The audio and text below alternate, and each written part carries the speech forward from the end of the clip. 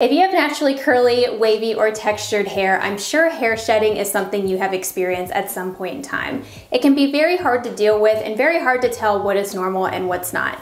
In this video, we're going to be covering the common cause of hair shedding, what's normal, what to look for to tell if what you're experiencing is not normal shedding, the differences between shedding, hair loss, and breakage, and some things that you can do to help reduce the amount of shedding that you're experiencing. If you are new to my channel, welcome. My name is Gena, and I make videos all about naturally curly hair and beauty. I love talking about the science of hair, product ingredients, why our curls behave the way that they do, and also simplifying things for beginners so that everyone can achieve healthy hair. I wanted to thank one of my favorite brands, Curlsmith, for partnering up with me for this video. I love how they always promote a healthy scalp as well as healthy hair and really work to bring education in the hair community about scalp health. I'm gonna be talking a little bit more about their supplements, the scalp stimulating booster, and the full length density elixir later on in the video. So excessive shedding is definitely something that I have been experiencing recently. I recently mentioned it to you all in a video, how I've been seeing a lot more shedding than normal, so I wanted to do some research and share that with you all in this video. I just want to preface though by saying I am not a doctor by any means. I'm simply researching and finding information, compiling it and sharing it with you all for this video.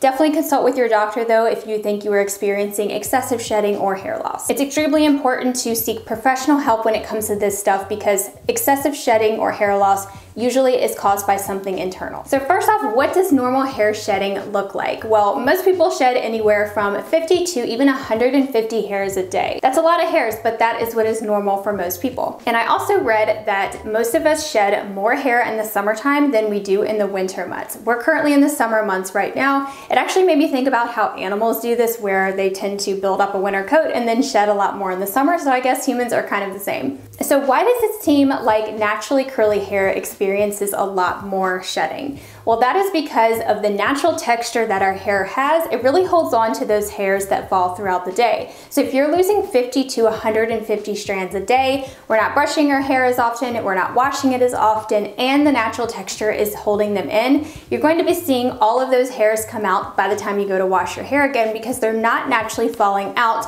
around on the floor and stuff as we go about our day like someone with straight hair. So say if you're losing 100 hairs a day and then you don't wash your hair or brush it for five days, that's 500 hairs that you're seeing all at once when you go to brush and wash your hair. A lot of people say that they think that they're experiencing more shedding when they switch to the curly girl method or when they start transitioning to their natural hair texture. I think a lot of that is because we're not brushing our hair every single day like somebody with straight hair. I might kind of finger detangle sometimes when when I refresh my hair, but I'm not brushing my hair from the root all the way to the tip every day like somebody with straight hair might be doing. Also, with naturally curly hair, we're washing our hair a lot less frequently than somebody might be with straight hair. So if you're not washing your hair every single day, as I mentioned, those hairs are accumulating every single day and then you're seeing them all at once when you go to wash your hair. So now let's talk about the differences between hair shedding, hair loss, and breakage. So as I mentioned, shedding means normal hair fall. Our hair actually goes through three cycles when it comes to hair growth and hair shedding. The first stage is called the anagen phase. This is the active growth phase where a new hair comes into the follicle and pushes the old one out. For the hair on our scalp, this phase lasts anywhere from two to six years. On other parts of our body, it's much shorter. That's why your arm hair doesn't grow for inches and inches and feet. It stays around the same length because that anagen phase is much shorter compared to the hair on our scalp. I also learned when researching that some people have a shorter anagen phase than others. So this is why some people are not able to grow their hair much past a certain length. And that could be because of their anagen phase only being maybe two years, so their hair is only getting to a certain length. So the next stage in the hair growth cycle is the catagen phase, and this is the transitional phase.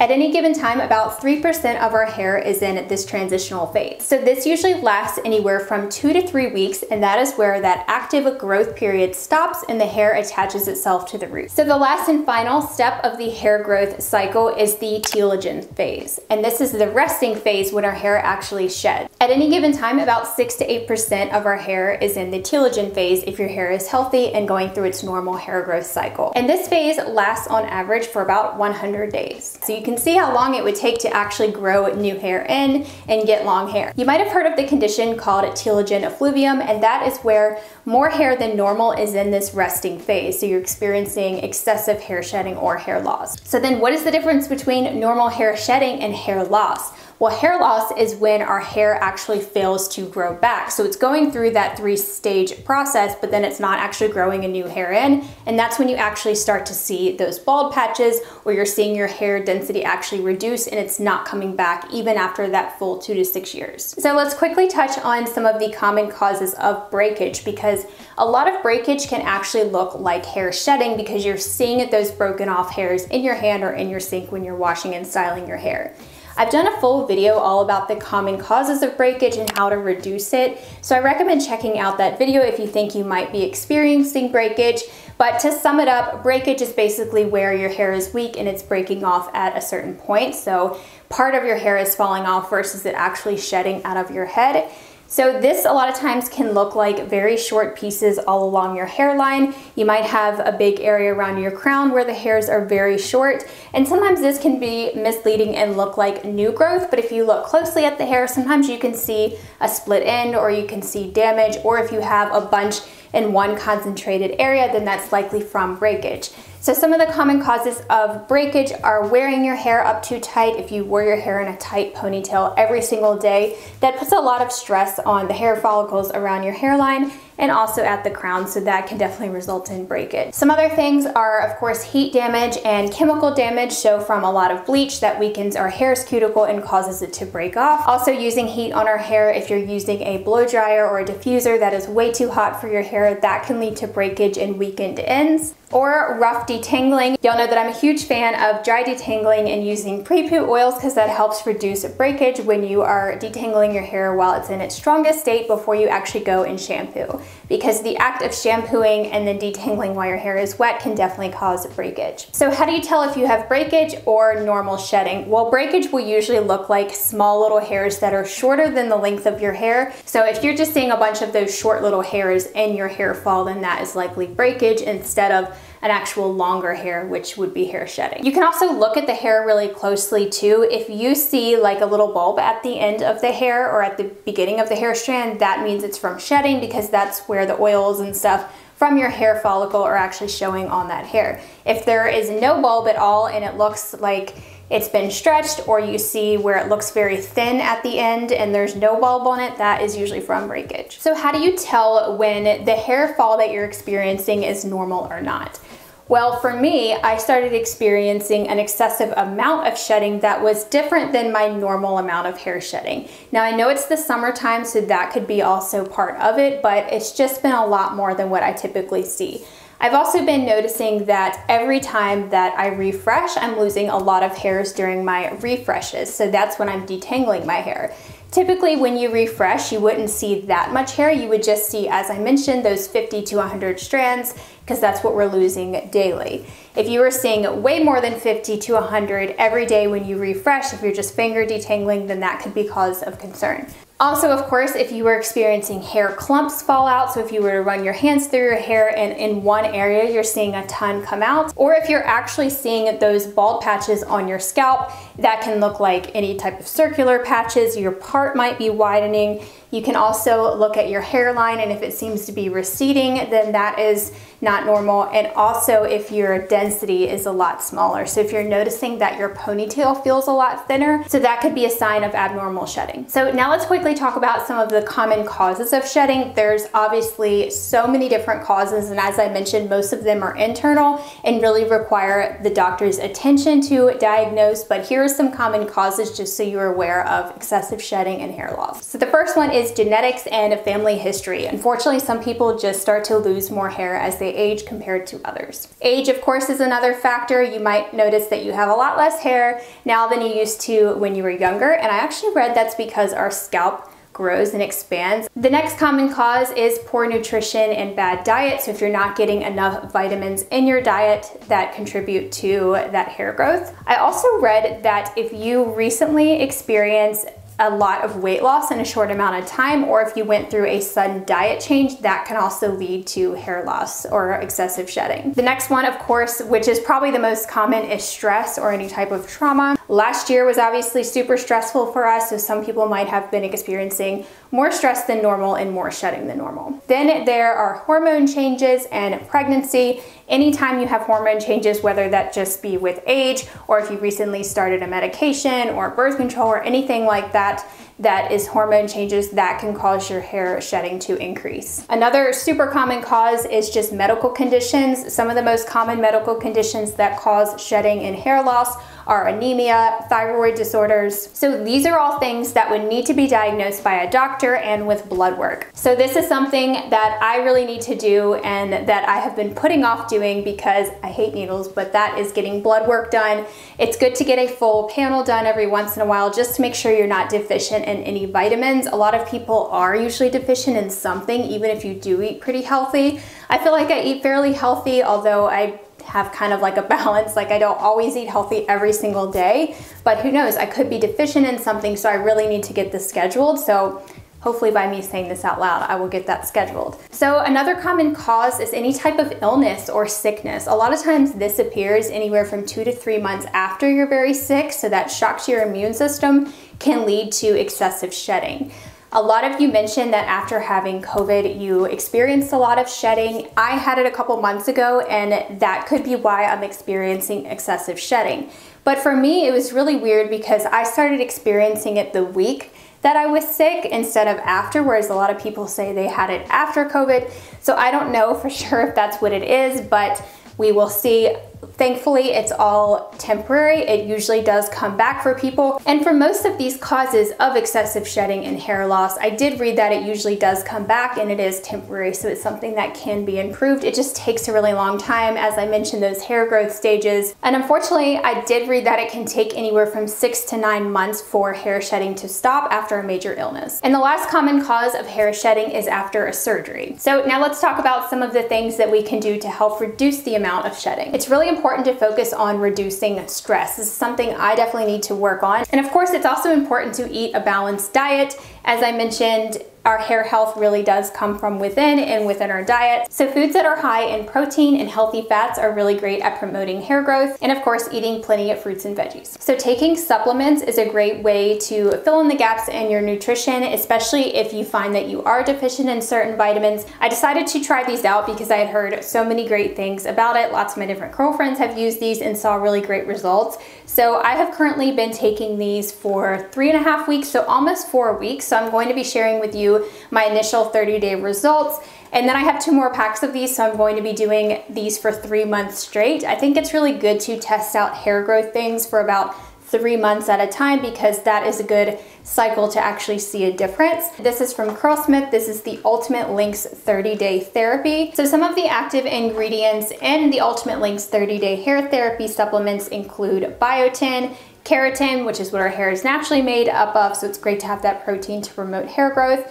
Also, it has collagen, alma fruit, alpha lipoic acid, goji fruit. So these don't contain any nuts, no soy, it's non-GMO, gluten-free, no preservatives, no lactose, and no artificial sweeteners. So in looking at the actual ingredients label, I see 500 mcgs of biotin, and the second ingredient down is pantothenic acid. So this does contain fish, which is probably how they get that collagen that was mentioned. So each packet of supplements comes with 60 capsules. So you can see I've already finished two of them here. I'm currently on on my third pack. So these two are empty. You're supposed to take two of these a day. I always take mine with a meal, which is what they recommend. So I take them right after dinner. I don't really like taking vitamins in the morning because I always worry I don't have enough on my stomach. So I always take them at night and I drink a ton of water when I take these. That also helps to get the capsules down, obviously, because these are a little bit large. But I surprisingly don't have a hard time swallowing these at all, I guess because they have that smooth capsule. Um, but they don't really taste bad. If you were to leave it on your tongue, you would probably start to taste some of the fish, but I just drink a lot of water and I get them down just fine. So make sure you're staying hydrated with these. It's really important to help with absorption and also make sure you eat with these. I've never had these upset my stomach. Hopefully I don't, but I've been taking these right after dinner and I'm usually fine. I haven't gotten an upset stomach from these. So the next way to reduce the amount of shedding that you have and promote hair growth is to stimulate the scalp. Stimulating our scalp helps improve the blood flow, which then helps to grow new hair. So Curlsmith actually has two products that can help stimulate the scalp. The first one is the Scalp Stimulating Booster, and then there's the Full Length Density Elixir. So this is one that actually helps with hair growth and hair density, whereas this one is more of just a stimulator. So you're supposed to use this one every single morning and then this one every single night. I've already finished up these bottles after four weeks. I have a tiny little bit of the booster, so they last about a month depending on how much that you use. Maybe I was using too much, but I wanted to make sure I was thoroughly coating my hair. A little goes a long way actually with this one because it does actually foam up a little bit, the scalp stimulating booster. And I guess that little bit of foaming action is what helps stimulate your scalp. I liked that it wasn't like tingly and burning though. It didn't feel uncomfortable. It just had a little bit of a cooling or a wet feeling, which obviously it's wet, so that's where I was getting that feeling, but I can tell that it is working to stimulate those hair follicles. So the directions say to apply this directly to the scalp daily, ideally in the morning. Massage gently and thoroughly into the scalp until you feel the booster has been absorbed. Do not wash the hair after application. For best results, use for at least three months together with the full length density elixir. So now that I'm reading, I probably was using too much because it's talking about how this is a potent formula. So it says that this contains some things I can't pronounce. I'll put them on the screen.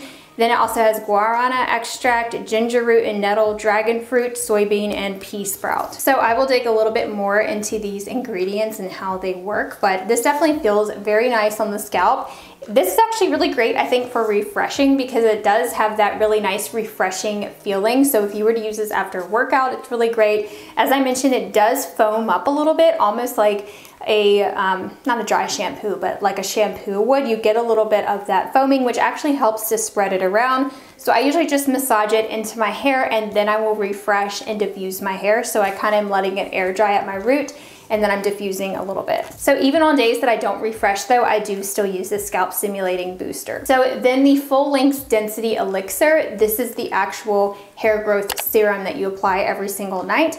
This contains castor oil, cedar wood, alma, green tea, soybean, lavender, witch hazel, thyme, clover, pea sprout. It says apply a few drops once daily, ideally at bedtime. Massage into dry or wet scalp thoroughly. Do not wash hair after application. For best results, use for least three months along with the scalp stimulating booster. This says it helps to balance the scalp, promote fuller looking hair strands. So I loved how this was not greasy at all. It says it's a non-greasy formula. It absorbs really easily. It definitely does and it dries pretty quickly. It's pH balance and you can leave it in so you don't have to wash your hair afterwards. So this says it improves the appearance of density, fullness, and thickness. So as I mentioned, I've already finished this up. Maybe I was using too much of it. I like how it is very watery so that when you apply it to your scalp, it does kind of run down onto your scalp. And then I just use the pads of my fingers to massage it in. It's really great to be doing that scalp massage twice daily because that is something that is huge for hair growth. Anytime you're stimulating that blood flow, it helps to promote hair growth. So in terms of my results after using the Curlsmith hair growth products, I feel like it's still a little bit too early to tell. When I was doing the measurement test on the shirt, I was seeing it was going slightly past the line that it was just at when I first started the supplement, so I might have had like an eighth of an inch or something like that of growth. It does take a long time though to see a difference, so I will definitely do that updated video after 90 days. I actually did get a haircut too right before I took the before photos, so that way I could get a true and accurate read on how much that my hair grew. I also used the exact same styling products, which were the Curlsmith Weightless Air Dry Cream and the Flexi Jelly. I wanted to make sure I was using the same products, that way I could really judge how my hair looks before and after, because products can make a difference in how full your hair looks and also how much shrinkage that you get. A couple things though that I did notice after just taking the supplement is my eyelashes look a lot thicker and longer. I don't know if that's just in my head, but when I was doing my makeup yesterday and today I was like, wow, my lashes look so much fuller and thicker. I don't know if that's a result of the vitamins or not, but they definitely look more evenly long. I don't know, usually like they kind of vary in length, but I don't know, they look really good. I've also noticed a huge difference in my nail growth. That's probably the first thing that I tend to notice when I start these hair growth vitamins. I cut almost all of the white off of my nails about three or four days ago, and this is the amount of growth that I have so far. My nails peel really bad. I've always had problems with that. They look awful right now. I didn't paint them because I wanted to be able to show you guys. I still am having issues with the peeling. That's just something that I've always had all my life with my nails, but Um, in terms of growth, they are growing a lot faster. As I mentioned, I just cut these a couple days ago and I barely had any white when I cut them on Friday and then today is Monday and you can see this is the amount of white that I have for new growth so far. I'm going to be doing another updated video with these after the full three months because I think we'll get a better picture then of how much hair growth that I've had. So the next thing that I want to mention is the importance of focusing on length retention when you're trying to grow your hair. Dry detangle your hair instead of detangle while it's wet with conditioner. A lot of you think I'm crazy for this, but trust me, you get used to it. I always use a little bit of oil to dry detangle and this helps reduce the amount of shedding so much because our hair is so much stronger when it is dry versus when it's wet. So why would we detangle our hair when it's in its weakest state? I always shed a lot less when I am dry detangling. So I'm gonna show you here, I know this is gross, but I'm gonna show you how much hair fall that I usually get when I dry detangle and then how much I'm currently experiencing when I actually shampoo. Now this is a lot, as I mentioned, I've been experiencing a lot more shedding. This is a lot for me. This might not look like a lot for you, but a lot of times it depends on our length. If you have longer hair than me, then you're obviously going to have a larger hairball than me, so don't compare it to mine, but I just wanted to show you for reference. So another thing that's super important to reduce the amount of hair shedding and hair loss is clarifying. Buildup can actually contribute to clogged pores, scalp conditions, and more, which lead to hair loss. So Keeping your scalp clean and balanced is extremely important. My favorite way to clarify, and this is not just because this video is about Curlsmith, is the Curlsmith Detox Kit. I would purchase this with my own money, even if I didn't work with Curlsmith, because this is one of my favorite products from them and my favorite way to actually clarify because it's not too stripping. So this is their detox kit. This is a microbiome scalp system. So it's really focused on balancing your skin's microbiome. If you don't have a balanced scalp, you can get scalp conditions such as dandruff, flakiness. So I've done a full review on this and a tutorial on how to actually detox your scalp, so I will put that down below. But the products that are in this kit are the Super Slip Prebiotic Primer, which is actually a pre-poo treatment that you apply before you shampoo. It's really important to do this to help detangle and prevent a lot of breakage, and it helps protect the hair from clarifying so it doesn't get too dry. Then the next step is the Wash and Scrub Detox Probiotic. This is the shampoo product, so I always use this whenever I want a clarifying shampoo. This has tiny little beads in it that actually help to gently exfoliate. It also has probiotics, which are the good bacteria or the microorganisms that support the skin's natural barrier and help balance the skin's microbiome. Then the last and final step is the postbiotic calming conditioner. This conditioner is unlike any conditioner I've ever used. You can actually use it on your scalp. So this actually has that cooling and that calming feeling. So after you've primed and then done the scrub and clarified, then you can use that calming conditioner and it feels so great. So I usually use this about twice a month to clarify and rebalance my hair. This really just helps to maintain that balance in our scalp and also keep our hair follicles clear of buildup. I never recommend solely co-washing. If you are co-washing, just make sure you're incorporating clarifying every so often. You could just use a clarifying shampoo. You could use a sulfate shampoo to fully clarify or use that detox kit, which is my personal favorite because it doesn't strip my hair. And the last and final way to treat hair fall and shedding and hair loss is laser therapy. I've researched a few of those laser hair helmets that you can wear. I might try one of those out eventually, but I've heard of different devices and stuff that use that laser light therapy to actually boost your hair growth. If you guys have tried any of those, definitely let me know your experience with them in the comments down below. So that was it for this video all about shedding. I hope these educational videos are helpful for you all. So I know this was a lot of information. I'm going to do my best to summarize it over on the blog post, so make sure you head to that blog post to read more about hair loss and hair shedding. I will have that link down below. In short, just make sure that you're taking care of your body from the inside out, keeping a balanced scalp, and just know that hair shedding is so normal, so common, if you are experiencing excessive shedding or you're actually seeing those bald spots or hair loss happening on your hair, make sure that you consult with your doctor. And also if you're interested in any of the Curlsmith stuff, I do still have the 10% off Curlsmith code. That will work for your first order. If you are a new Curlsmith customer, you can get 10% off with the code. So I'll have my Curlsmith link down below if you're interested. So if you are currently experiencing any type of excessive shedding or hair loss, I would love to hear your story. So please share it in the comments down below. Don't forget to subscribe if you have not already, and I hope to see you back next week. Bye everyone.